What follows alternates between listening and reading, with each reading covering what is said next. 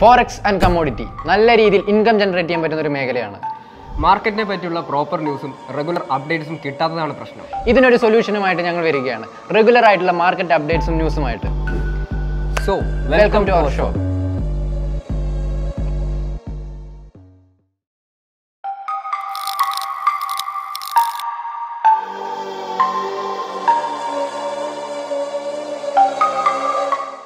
welcome to forex and commodity buzz so നമുക്ക് ഇന്ന് major ആയിട്ടുള്ള ഹെഡ്ലൈൻസും കാര്യങ്ങളൊക്കെ ഒന്ന് ഡിസ്കസ് ചെയ്യാം. അപ്പോൾ ഇന്ന് മെയിൻ ആയിട്ടുള്ള ഒരു കാര്യം എന്തെന്ന് പറഞ്ഞിട്ടുണ്ടെങ്കിൽ നമ്മളെല്ലാവരും എക്സ്പെക്ട് ചെയ്ത ഒരു കാര്യമാണ് യൂറോപ്യൻ സെൻട്രൽ ബാങ്കിന്റെ മീറ്റിംഗ് സോ നമ്മളെല്ലാവരും എക്സ്പെക്ട് ചെയ്തതുപോലെ ഈ ഒരു യൂറോപ്യൻ സെൻട്രൽ ബാങ്കിന്റെ മോണിറ്ററി പോളിസി മീറ്റിങ്ങിൽ നടന്നൊരു പ്രധാന കാര്യം എന്ന് വെച്ചിട്ടുണ്ടെങ്കിൽ ഇപ്പോൾ നോർമലി പോയിക്കൊണ്ടിരിക്കുന്ന ആ ഒരു റേറ്റും കാര്യങ്ങളൊക്കെ ഉണ്ടല്ലോ. അതൊക്കെ മാറ്റമില്ലാതെ ഇതേപോലെ തന്നെ തുടരുകയും ജൂലൈയിൽ നമ്മളുടെ twenty five B P S ആയിട്ട് ഇത് ഉയർത്താനും തീരുമാനിച്ചിട്ടുണ്ട്. ഇനി അത് കഴിഞ്ഞ് വരുന്ന അടുത്ത മീറ്റിംഗിൽ ഇത് ഫിഫ്റ്റീൻ ബി പി എസ് ആയിട്ട് ഉയർത്തണമെന്നും അവർ തീരുമാനിച്ചിട്ടുണ്ട്. അടുത്ത മീറ്റിംഗിൽ ഫിഫ്റ്റീൻ ബി പി എസ് ആയിട്ട് ഉയർത്തുമെന്ന് എക്സ്പെക്റ്റ് ചെയ്ത ഇൻവെസ്റ്റേഴ്സിന് ഇതെല്ലാം ഒരു നിരാശ നൽകാനാണ് സാധ്യതയുള്ളത്.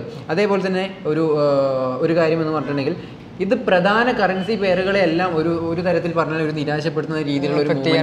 അതെ അതെ. ഒരു നെഗറ്റീവായിട്ട് ചെറിയ രീതിയിൽ ഇമ്പാക്ട് ചെയ്യാനുള്ള സാധ്യത കൂടുതലാണ്. എന്നിരുന്നാലും ഈ പോരായ്മകൾ തൽക്കാലത്തേക്ക് വേണ്ടി മാത്രമാണ്. ഒരു ഒരു ഇൻഫ്ലേഷൻ ഇങ്ങനെ തുടർച്ചയായിട്ട് വർദ്ധിക്കുന്നത് ഭാവിയിലേക്ക് ഒരു നിരക്കുകളെല്ലാം കൂട്ടുന്ന അല്ലെങ്കിൽ റേറ്റുകളെല്ലാം ഒന്നും കൂടി കൂട്ടുന്ന നിലയിലേക്ക് പോയി കഴിഞ്ഞാൽ ഈ ഒരു സിറ്റുവേഷനിൽ ഇത് കുറച്ചും കൂടി സ്പീഡ് കൂടും. അതായത് ഒരു ഒരു വർഷം കൊണ്ട് വരേണ്ട സാധനം ചിലപ്പോൾ ഒരു ആറ് മാസം കൊണ്ടൊക്കെ എത്തിയേക്കാം. ആ രീതിയിലേക്കാണ് ഇപ്പോൾ കാര്യങ്ങൾ പോകുന്നത്. ഇത് നമ്മളുടെ G B P euro G B P യൂറോയ്ക്ക് ഒരു പോസിറ്റീവായിട്ടുള്ള ഒരു മൂവ്മെന്റ് ആയിരിക്കും നൽകാൻ സാധ്യതയുള്ളത്. അതേപോലെ തന്നെ അറ്റ് ദ സെയിം ടൈം നമ്മളുടെ പുതിയ യു കെ യു കെയിലുള്ള അതായത് നമ്മൾ ഇന്നലെ ഡിസ്കസ് ചെയ്താണ് യു കെയിൽ ഒരു രാഷ്ട്രീയപരമായിട്ട് കുറച്ച് കാര്യങ്ങൾ നടക്കുന്നുണ്ട് അല്ലെ? ഒരു പ്രസിഡന്റിനെതിരെ ഒരു വിശ്വാസ വോട്ട് കാര്യങ്ങളൊക്കെ നടക്കുന്നത് കൊണ്ട് ഡിസ്കസ് ചെയ്തിട്ടുള്ള ഡിസ്കസ് ചെയ്ത കാര്യമാണ്. സോ ഇതും അതേപോലെ തന്നെ ഡോളറിൽ ഓക്കെ ഡോളർ ഇങ്ങനെ ദുർബലപ്പെട്ട് വരുന്നതും അല്ലെങ്കിൽ ഡോളറിന്റെ പ്രൈസ് ഇങ്ങനെ കുറഞ്ഞു കുറഞ്ഞു വരുന്നതും നമ്മളുടെ ജി ബി പി യൂറോ യൂറോയ്ക്ക് കൂടുതൽ പോസിറ്റീവ് ആയിട്ടുള്ള ഒരു മൂവ്മെന്റിലേക്ക് അല്ലെങ്കിൽ പോസിറ്റീവ് ആയിട്ടുള്ള കാര്യങ്ങളാണ് മാർക്കറ്റിൽ നടന്നുകൊണ്ടിരിക്കുന്നത്. യെസ് അതുപോലെ തന്നെ ഈ ഒരു ഇൻഫ്ലേഷന്റെ കാര്യങ്ങൾ അതായത് ഈ മേജർ ആയിട്ടുള്ള കറൻസി പേഴ്സിലേക്കൊക്കെ ഇതിന്റെ കാര്യങ്ങൾ എഫക്ട് ചെയ്യും തീർച്ചയായിട്ടും എഫക്ട് ചെയ്യും. അപ്പം ഇനി വരുന്ന കാര്യങ്ങളിൽ നമ്മൾ നല്ല രീതിയിൽ അതിനെ പറ്റിയുള്ള അപ്ഡേഷൻ അറിഞ്ഞിരിക്കണം. ഉണ്ടാവണം. അതായത് ഇതിൽ മേജറായിട്ട് നമ്മൾ മനസ്സിലാക്കേണ്ട കാര്യം ഒരു അതായത് ഇൻവെസ്റ്റേഴ്സ് എല്ലാം ഇതൊരു ഫിഫ്റ്റീൻ ബി പി എസ് ആയിട്ട് ഉയർത്തും. ട്വന്റി ഫൈവ് എന്നുള്ളത് ഫിഫ്റ്റിയിലേക്ക് ആക്കി കഴിഞ്ഞാൽ കുറച്ചും കൂടി ഒരു നല്ലൊരു മൂവ്മെന്റ് അല്ലെങ്കിൽ അവരത് നല്ല രീതിയിൽ എക്സ്പെക്ട് ചെയ്തിരുന്നു. മാർക്കറ്റിൽ ഒരു നല്ല രീതിയിൽ പുഷ് ചെയ്യാനും അതുപോലെ അവർ ബൈ ചെയ്യാനും ഒക്കെ റെഡി ആയിരുന്നു. പക്ഷെ അത് അവർക്ക് എന്താണ് ഒരു നെഗറ്റീവായിട്ടാണ് അവർക്ക് കിട്ടിയിരിക്കുന്നത്. കിട്ടിയിട്ടിരിക്കുന്നത്. തീർച്ചയായും നിരാശരായിരിക്കും. ലൈക്ക് നമുക്ക് ഇന്ന് നമ്മുടെ ഓയിലിന്റെ കേസിലേക്ക് നോക്കുകയാണെങ്കിൽ നല്ല രീതിയിൽ പെർഫോം ചെയ്തിട്ടുണ്ട്.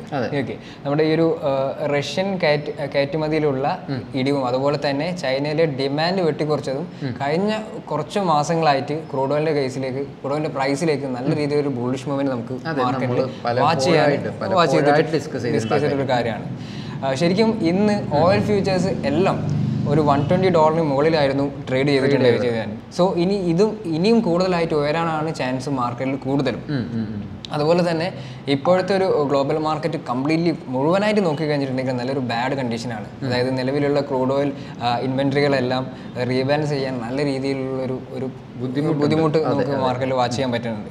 ഇത് കാരണം നമ്മുടെ ആഗോള എണ്ണ ശേഖരണവും അതുപോലെ ഒപ്പക് ഒപ്പക് റിഫൈനിങ് സ്പെയർ കപ്പാസിറ്റികൾ അതായത് ഈ ഇപ്പം സസ്റ്റൈ അൺസസ്റ്റൈനബിൾ ആയിട്ടുള്ള താഴ്ന്ന നിലകളിൽ നല്ല രീതിയിൽ അതായത് സാധാരണ നിലയിലേക്ക് റീകവർ ചെയ്ത് വരികയാണെങ്കിൽ നമ്മുടെ ഓയിൽ പ്രൈസിന് ഇനിയും നല്ല രീതിയിൽ അതൊരു മൂവ്മെന്റ് കാണേണ്ടതുണ്ട് മാർക്കറ്റിൽ ഓക്കെ ഓക്കെ. അപ്പോൾ നമ്മൾ എക്സ്പെക്ട് ചെയ്യുന്നത് ഇനി മാർക്കറ്റിൽ ക്രൂഡ് ഓയിൽ പ്രൈസ് കൂടുന്നുള്ളതാണ്. അതെ അതെ. യെസ് സോ അതിന് അതിന്റെതായ കാരണങ്ങളുണ്ട് അതിന്റെതായ റീസൺ ഉണ്ട്. കാരണം മാർക്കറ്റ് അൺസസ്റ്റൈനബിൾ ആണ് അല്ലേ? സോ അതാണ് ഈ ഒരു ഓയിൽ പ്രൈസ് ഇത്രത്തോളം ഉയരാൻ ഇനിയും സാധ്യത. സോ എന്തായാലും നമുക്ക് ഇതാണ് മെയിൻലി മേജർ ആയിട്ടുള്ള ഒരു ഒരു റീസൺ എന്ന് നമുക്ക് മാർക്കറ്റിൽ വാച്ച് ചെയ്യാൻ പറ്റുന്നത്. പെട്രോളിന്റെ വില കുറയുമോ?